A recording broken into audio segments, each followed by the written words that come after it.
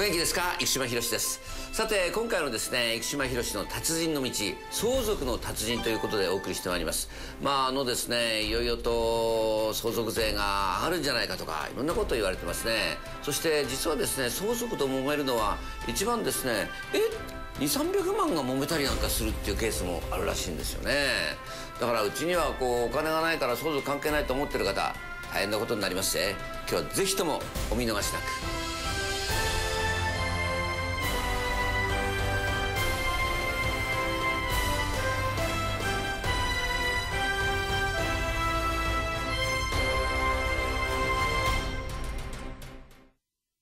さて今回の達人の道なんですが、まあ、何かとですねここに来て相続の問題取り上げられるんですね、まあ、あの腹水盆に帰らず、まあ、相続は十人十色なんていろと言うわけですけれどもね。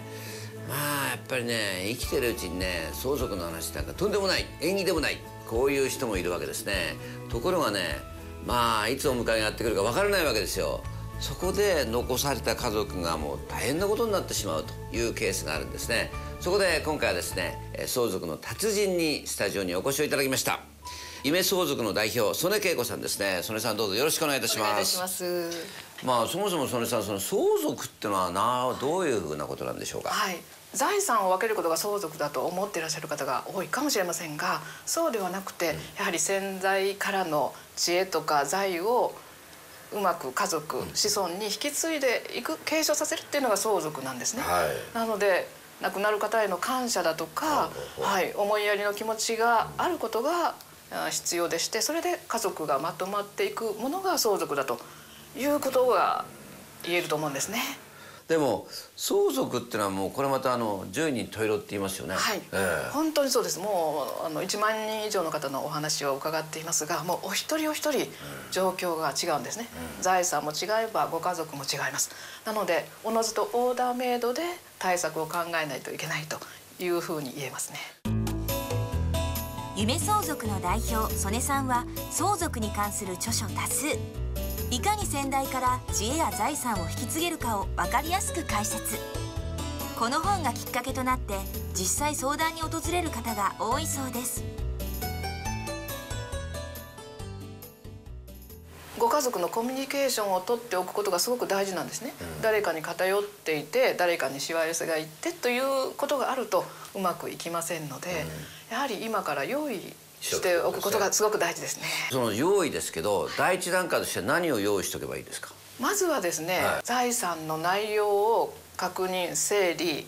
えー、しておくことがやっぱり一番ですよね。はいはい、でご家族の状況も確認しておくことが必要です。はい、でその中には課題も出てきますし、はいはい、税金がかかることもあるでしょうから、そういう先延ばししてはいけない問題はまず解決しておくことが大事ですね。で今やっぱり一番問題になるのが分けられないことで揉めていくんですよ。なるほど。はい、財産が少なければ、例えば実家だけだとすると分けられないこともありますね。うん、そうなんですよね。はい、で例えば実家で、まあその代々続いてきた商売がありますと、はい、でご長男がずっとそれはもう受け継いできたと。守っていくんだと。ところがその親御さんが亡くなった瞬間に相続が発生するわけですよね。はい、そうです。そうするとご兄弟がいらっしゃってお兄さんはそのまあその自宅部兼その商売やってるお店だとすると。はいそこを分けるとなると商売も続けられないということも出てきますよね。出てきますね。えー、なのでご兄弟でやっぱり状況が違うとすごく温度差がありますから亡くなった後決めようというのではやっぱりうまくいかないこともあるんですね。ですよね。はい。でだから不動産を相続しなければいけない立場の人がありますと、うんはい、他の人は不動産が相続できませんので、えそれに見合うぐらいの現金を残すことが理想的かと言えますね。なるほど。まあ親御さんがやっぱこの相続に関してのある程度知識があれば、はい、じゃあその基本的にはまあ実家だと家があると。だけどまあじゃあ兄弟がまあ2人3人いらっしゃる場合に、はい、じゃあこのご長男にまあ譲るとしてもその次男とか三男とか、えー、他のお子さんにもある程度現金を用意できれば一番いいですよね。はい、それが理想的だと言います。分けられなくなることが一番の課題なんですね。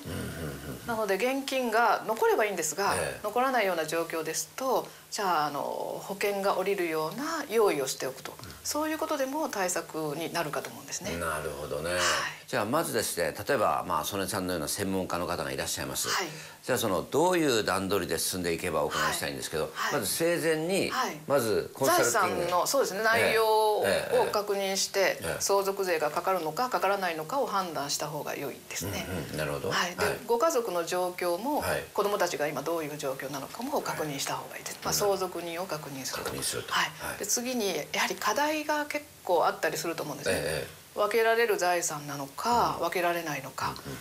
で不動産の共有の問題とか担保の問題とか、うん、そう後に送って、えー、厄介なものを残していないかと、それを、うん、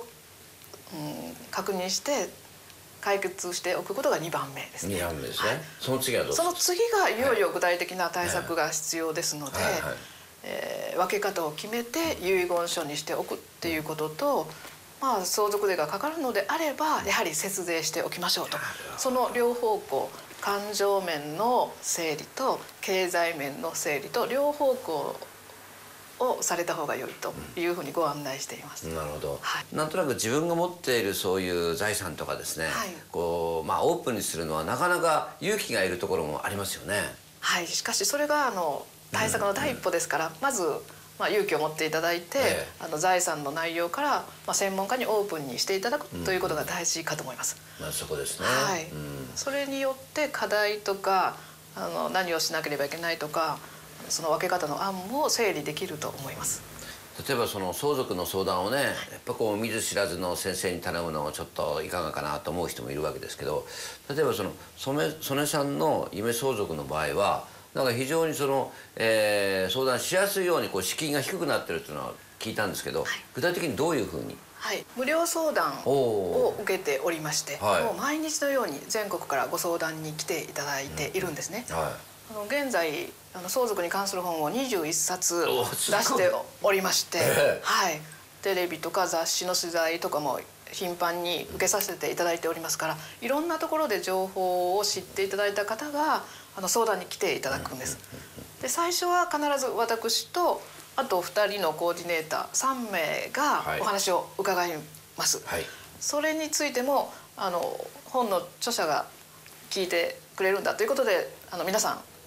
びっくりして、ね、はい。まあ、喜んでいただいて、はい、はい。はい。その1時間の間にいろんなことをわっとお話しいただくんですけれども大体の課題が見えて整理できてアドバイスさせていただけますのであのすごくすっきりしたとほっとしたと言って、あのお帰りになります、ね、その相続の相談とか形になってくるとお金がかかるんじゃないかと思ってる方がいらっしゃるわけですよね。はい。うん、まず私どもは無料の相続相談で課題を整理してカウンセリングをさせていただくっていうことですからの安心して来ていただければ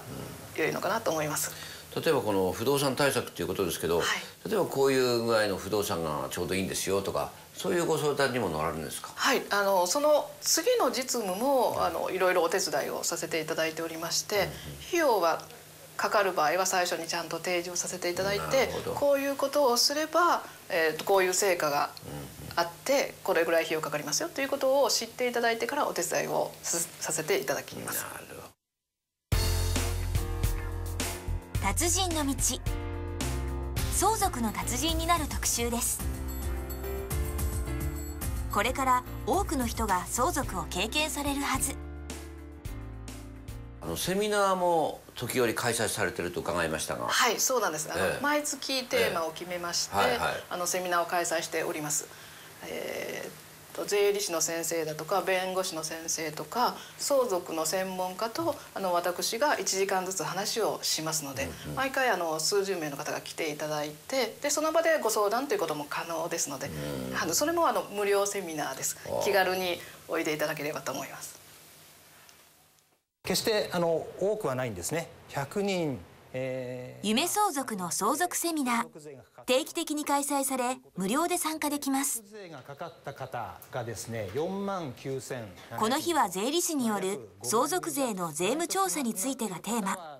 知っておくことで対策も可能です。相続税がかかっている方っていうのは、えー、実際、まあ、横ばいで決して増えてはいないと。税金がかかっているその割合としましては年々下がっているということが、えー、言えます1万1200件と。実に82%の割合で、申告漏れが指摘されているということになっております。ですから申告をしてから1年数ヶ月ですね。1年以上経ったところで税務調査が入っております。これが、えー、1つ目の案件でした。現金預金の申告漏れが多いのかというところになるわけなんですが原因は2つあります。まず手元現金の申告漏れというのがやはり多いんですね。死亡直前に引き出さ引き出された預金の流れ、まあ、これは必ずチェックする必要があると。で実際にその相続が起こった日現在にそのお金はどうなっていたか。手元にあったのか。あるいは家族の方の口座に入っていたのか。あるいは実際に使ってしまっていたのか。で税務署は必ず過去の動きを調査しております。で調査が始まった時にはもうすでに銀行調査は終わってるんですね。自分で修正申告を出した場合にはもうそこで完結なんですね。その後文句言えなくなっちゃいます。相続税がいかに身近なものであり事前に知っておくのと知らないままでいることの人生の差はとても大きいものなのですね。相続税に詳しい専門家が実態に基づいて講義してくれます。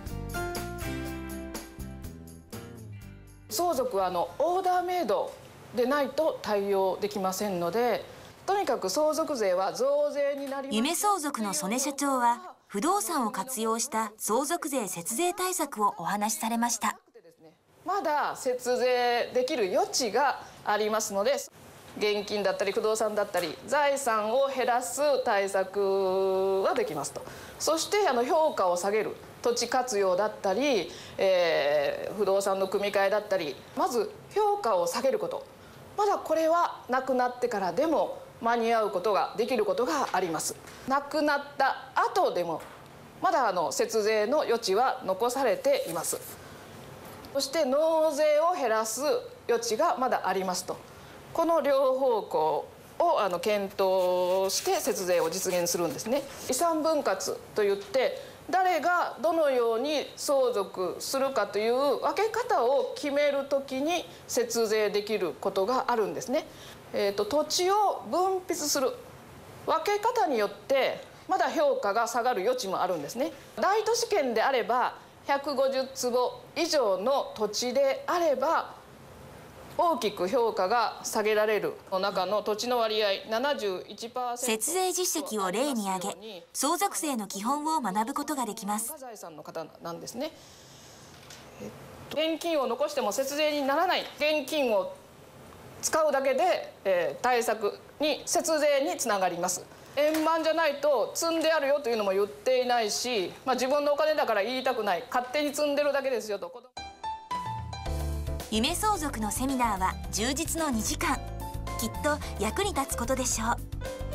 無料相続セミナーに関するお問い合わせはご覧の電話番号。